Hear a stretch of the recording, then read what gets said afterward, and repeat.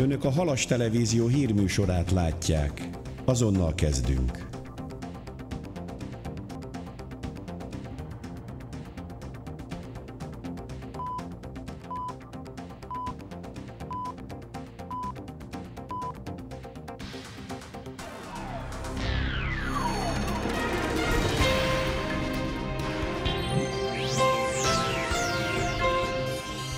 ...350 munkahely jön létre, Szijjártó Péter külgazdasági miniszter részvételével letették az alapkövét a Mélykút határában épülő víziszárnyas feldolgozó üzemnek. A többség már teljesítette a kötelezettségét, ma le a helyi adók befizetési határideje. Felszedik, amit mások szétdobáltak. Megkezdődött a Teszed akció, halason több helyszínen várják az önkénteseket.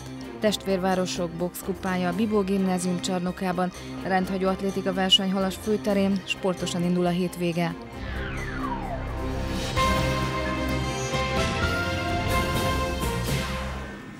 Jó estét kívánok! Önök a Halas Televízió péntek esti hírműsorát látják. Ma délelőtt letették a Hunen ZRT Mékúton épülő víziszárnyas feldolgozó üzemének alapkövét. A majdnem 9 hektáros területen 18.300 négyzetméteres hasznos alapterületű feldolgozó csarnokok és hűtőházak épülnek két ütemben. A teljes bekerülési költség 12,6 milliárd forint, a zöldmezős projekthez a kormány 4,4 milliárd forintos támogatást biztosított. Az építést két kiskunhalsi építőipari cég végzi majd. Itt az 55-ös főút melletti területen épül meg az új feldolgozó üzem. A tervek szerint 350 embernek adnak itt munkát.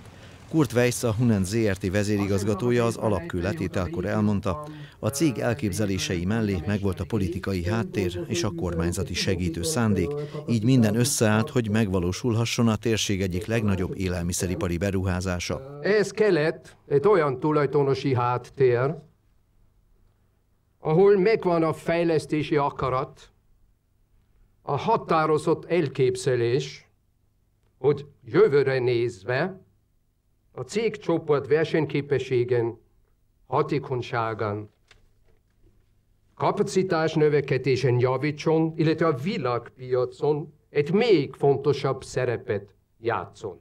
Kis István, a Hunen ZRT elnöke úgy gondolja, a folyamatos fejlesztés, bővítés segíti hozzá a céget a versenyképességhez. Az ötletet azt hozta, hogy kell fejleszteni. Tehát Magyarországon az élelmiszeripari cégek, ezen belül a baromfi szektor Viszonylag pláne a víziszárnyos szektor egy előregedett üzemrészekkel dolgozik, és kell újítani ahhoz, hogy mind Szijjártó Péter miniszter úrnak is hallottuk a beszél, versenyképesek legyünk. És ez váltotta ki azt, hogyha hosszú távon gondoljuk a beruházást, akkor viszont kőkeményen beruházni kell. Szijjártó Péter külgazdasági és külügyminiszter elmondta, Magyarországon a kormány által is támogatott fejlesztéseknek köszönhetően 8500-zal több munkahely teremtődött. Ebben a versenyben Magyarország nem csak, hogy jól helytáll, hanem Magyarország lett az egész közép-európai térségben a legvonzóbb befektetési környezettel rendelkező ország. Ha ez nem így lenne, ha ez a kijelentés túlzás lenne, akkor nem mondhatnánk el azt, hogy az idei esztendő első fél évében a nemzetgazdasági beruházások mértéke 25%-kal nőtt, egy negyedével nőtt az előző év hasonló időszakához képest. Ha ez nem így lenne, ha ez túlzás lenne, akkor nem mondhatnánk el, hogy a beruházás ösztönzéssel foglalkozó ügynökségünk a tavalyi minden rekordot megdöntő évnél is sokkal jobb első fél évet zárt, 47 47 beruházásról tudtunk megállapodni vállalatok vezetőivel, köztük a Unentel is. Kovács Tamás, a település polgármestere úgy véli, ez a beruházás hatalmas lendületet ad a térségnek. Mékut az 5000 fős település, tehát el lehet képzelni azt, hogy egy 350 fős munkahely milyen lehetőségeket nyit meg a település életében, és nem csak a település életében, ezt mindig hangsúlyozom, hogy igaz, ez a beruházás ez Mékúton valósul meg, de ez a térséget, az egész felsőbácskát meg kell, hogy mozgassa. Reméljük azt, hogy, és örülünk is annak, hogy a ö, kormányzat megértette azt, hogy ez a térség igenis egy ilyen beruházással meg tud indulni, és az mozgató ereje, motorja lehet a későbbi beruházásoknak. Mi abban bízunk, hogy egy dominó eldőlt, elindul ez a beruházás, és ezáltal a térség felemelkedik. Bányai Gábor, a térség országgyűlési képviselője beszédében elmondta, a kezdetektől támogatta, segítette ezt a projektet. A beruházás mellett legfontosabb, hogy 350 embernek lesz itt biztos megélhetése. Ha kiszámoljuk, csak itt ez a beruházás 40 millió forint per munkahely költségbe kerül, tehát a munkahelyteremtés tőke kell, kell vállalkozó, kell egy jó ötlet, kell egy támogató kormányzat, bankok és persze az önrész, és tehát munkahelyet teremteni nem lehet a légből kapottan, nem lehet varázsveszővel, ez, ez mondom, kell a vállalkozó, kell a kormányzat, kell a helyi hivatal, sok minden kell hozzá, és hát a térségben ez a 350 munkahely, ugye ez nem csak még utat fogja érinteni, hanem a Bácsamási, a Halasi járás településeit, sőt, tehát lesz olyan idő, amikor lehet, hogy messzebbről is kell munkaerőt hozni, hisz nem mindenki akar munkát vállalni, akinek még szüksége lenne rá. Fülöp Robert Kiskunhalas polgármestere úgy gondolja, ez a fejlesztés csábító lehet a halasi és környékbeli embereknek is. A Hunent gazdaságilag meghatározó telepet üzemeltet Kiskunhalason, ennek a fejlesztése is fontos lenne. Mi Kiskunhalason azt gondolom, hogy jó helyzetben vagyunk, hiszen a cégnek már van a városban egy komoly nagy bázisa. Én remélem, hogy ennek a bázisnak a fejlesztésére is sor került a következő időszakban, főleg úgy, hogy a a, a Kiskoroson keresztül haladó e, Budapest-Belgrád vasútvonal fejlesztése is indukálhatja ennek a fejlesztésnek a megvalósulását. Én erre fogom biztatni majd a tulajdonosokat, és remélem, hogy hamarosan beszámolhatunk ennek az eredményeiről. A mai napon lejárt a helyi adók második félévi részletének befizetési határideje. Aki megfeledkezett erről az elkövetkező napokban, még rendezheti a kötelezettségét. A Városháza adócsoportjánál azt javasolják, ha olyan helyzetbe került valaki, hogy nem tudja befizetni az adóját, jelezze ezt a hivatal felé. A hivatalnokoknak bőven akad munkája a Halasi Városháza adócsoportjánál. Szeptember közepe minden évben a helyi adók második részletének befizetési határideje. Akinek már nincs meg a csekje, az kérhet másikat az önkormányzati hivatalnál. A tapasztalatok szerint sokan nem vártak szeptember 15-ig, és már rendezték az adókat. Márciusban mindenki megkapta az egész évre vonatkozóan az értesítőt, illetve a csekkeket. Amennyiben valaki nem találja, nincs meg, akkor fáradjon be és adunk csekket, illetve ez a kérdés megoldható úgy is, hogy banki átutalással. A bankszámla számaink fönt vannak a honlapunkon, a kiskolas.hu adócsoportra kattintva, ott leolvasható arra szeretnék mindenkit megkérni utalásnál, hogy a közlemény rovatban a mutató számát, ami a levélben, értesítőben szerepelt, hogy azonosítva, azt szíveskedjék föltüntetni. Ha ezt nem tudja, akkor, akkor nyilván egyéb azonosító adó szám, adóazonosító jel, de a mutatószám lenne az, ami fontos ebben az esetben a pontos beazonosítás miatt. Sokan nem az utolsó pillanatra hagyják a befizetést, tehát már ugye a kivonatokon látszik, hogy megindultak a befizetések, és nyilván hát még 15-e után is lesz, aki észbe kap, hogy hú, még nem fizettem be, hogy ezt mindenképpen kérném, hogy hogy tegye meg, mert nyilván októberben aki nem tette meg, az meg fogja kapni a felszólító levelünket, és amennyiben nem teljesíti, akkor annak megint következményei vannak, a végrehajtás fog elindulni, tehát akkor bankszámláról inkasszóval leemelés, tehát akkor ha ezt szeretné elkerülni, tehát ha valami problémája van, nem tud fizetni, akkor azt ugye mindenképpen jelezze. Az utcán találomra megkérdezett járókelők arról számoltak be, hogy szeretik időben rendezni a kötelezettségüket. Nagyon befigyelek, hogy mindig befizessük időben. Hát úgy gondolom, hogy az embernek ez a kötelessége, hogy ezért az ilyen fizetni valókat időben rendezze. Én nem vagyok elmaradva semmivel. Oda szoktam figyelni. Számon tartom, én rendszeresen beszoktam fizetni, mert én szeretek nyugodtan aludni. És hogyha nincs befizetve, akkor ez később duplán kell fizetni, mert ugye az előzőt is hozzátenni, és akkor már sok úgy mások. Hogy szokta rendezni, így fél évente, vagy esetleg márciusban már egybe az egészet? Én márciusban, ha egy módon van rá befizetem, ebbe az évben nem sikerült, de már most az egészben van fizetve, úgyhogy én már nyugodt vagyok. Még egy tudnivaló, a külterületeken élőknél még folyamatban van a kommunális adók intézése. Azt kérik, aki értesítést kap, figyelmesen olvassa el. Most van az időszak még, amikor a külterületi kommunális adóban közlünk még ki határozatokat, azokban ott vannak csekkek. Sok embert megtéveszt, hogy esetleg ez a szeptemberi értesítő nem kérném, hogy mindenki olvassa végig a levelet határozatot, mert ott, ott van, hogy milyen ingatlanra vonatkozik, tehát ezek általában ugye a külterületi ingatlanokról van szó, és ahhoz adjuk a csekket, ez az, ami 2012. január 1 ugye minden külterületi ingatlan, illetve telek tulajdonosnak, építménytelek tulajdonosnak be kell fizetnie. Akinek kérdése van a helyadókkal kapcsolatban, az keresse a Városházán az adócsoportot. Nem könnyű a munka, de aki beváll ki és elsajátítja a technikáját, az ahhoz a csapathoz tartozhat, akik a hungarikum halasi csipkét készítik. Ugyanis csipkevarró tanulókat keres a Csipkeház, nemrég tették közé az erről szóló felhívást, miszerint jó kézügyességre, valamint türelemre és kitartásra van szükség ahhoz, hogy valaki jó csipkevarró legyen.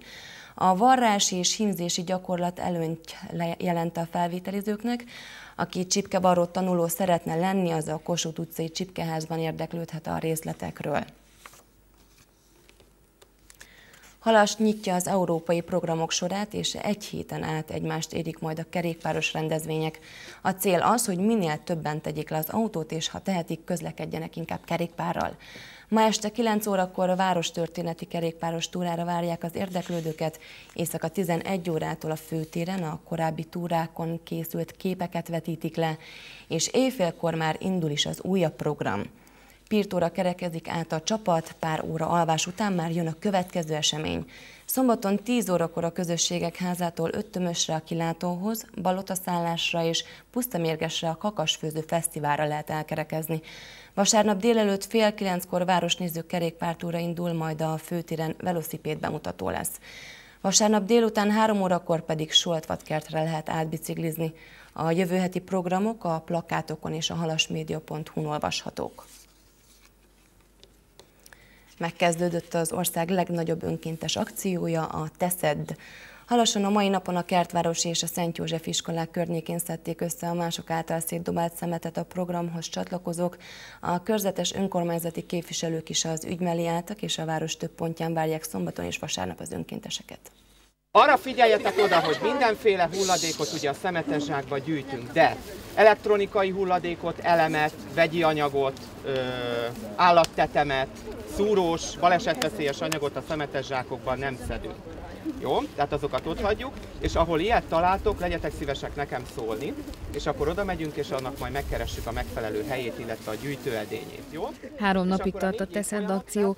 Az egész országban önkéntesek próbálják megtisztítani a szétdobált szeméttől a lakókörnyezetüket. A Kertvárosi iskolából mintegy 40 diák csatlakozott a felhíváshoz mivel mi iskola vagyunk, ezért nagy hangsúlyt fektetünk arra, hogy a környezetünk az tiszta legyen itt az iskola körül, meg a környékén, itt például a boltnál. Az a célunk, hogy a többi ember is, ne csak a mi iskolánk itt a szedje a szemetet itt a kertvárosban, mert eléggé szemetes, ahogy így most így körbenéztünk. Nem pont például nagy szemetek, hanem ilyen kisebbek, mint a cigaretta, vagy a zacskó darabok. És szeretnénk, hogyha a város többi lakója is csatlakozna hozzánk legyenek az emberek környezetkímélők, és ne dobálják el a szemetüket. Most így már egy pár perccel szeditek itt a szemetet, mi a, a tapasztalatotok? Hát, hogy eléggé sok cigarettacsik van, zsebkendőpapírok, meg sok szemét. Példamutatást szeretnénk csinálni, hogy az emberek a kukába dobják a szemetet, és ne a környezetbe. A Teszed akció első napján nem csak a Kertvárosi, hanem a Szent József iskola környéke is megszépült. A mai napon indult el a városban sok éves hagyomány után ismét a szemétszedési akció, a Teszed akció. Önkéntesek tucatjai indultak ma is útra, hogy több kilométernyi utat, járdát tisztítsanak meg a szeméttől. Elsősorban mai napon oktatási intézmények, illetve egyéb közösségek kezdték meg ezt az önkéntes munkát. Azt lehet látni egyébként, hogy a tavalyi év, illetve az előző évekhez is hasonlóan százával és ezrével szednek össze cigarettacsikkeket illetve a boltok környékén a kisebb-nagyobb eldobált szemetet, de a csík az, ami én úgy gondolom, hogy tavalyhoz hasonlóan ismét a legelszomorítóbb.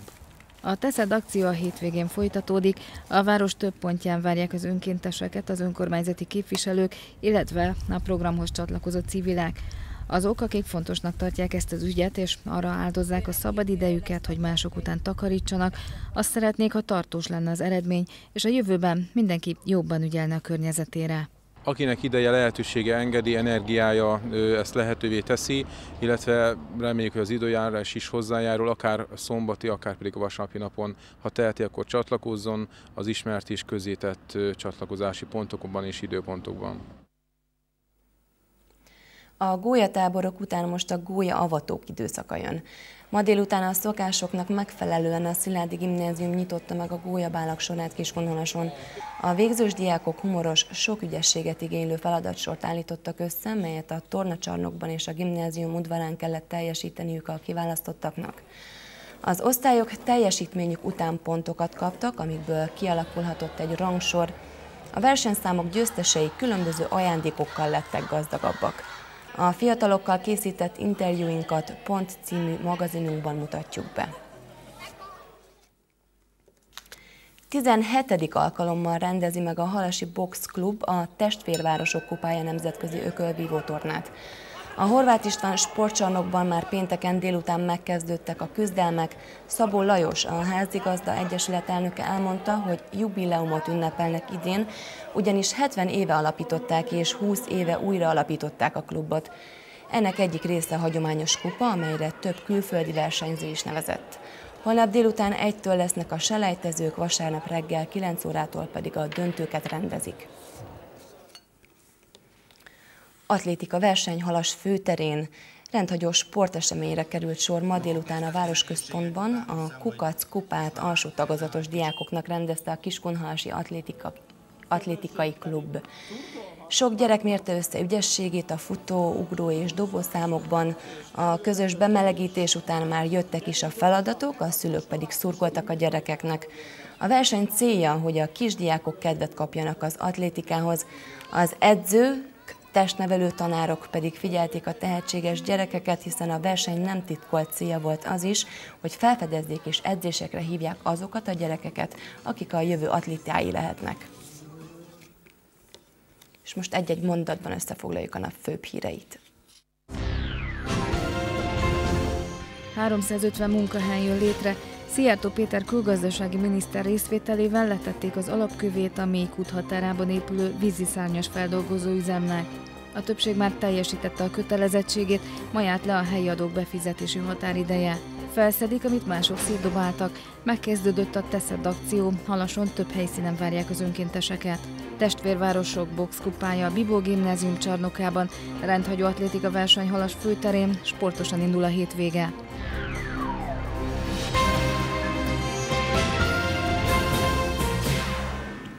Folytatásban jön az időjárás előrejelzés, aztán a napi mozaik. Ma visszaidézzük a halasi szüreti napokat, vasárnap délelőtt helyi táncosok és oldboy tornászok léptek fel. Az ő műsorokból mutattunk részleteket. Én ezzel búcsúzom Önöktől szép hétvégét viszontlátásra.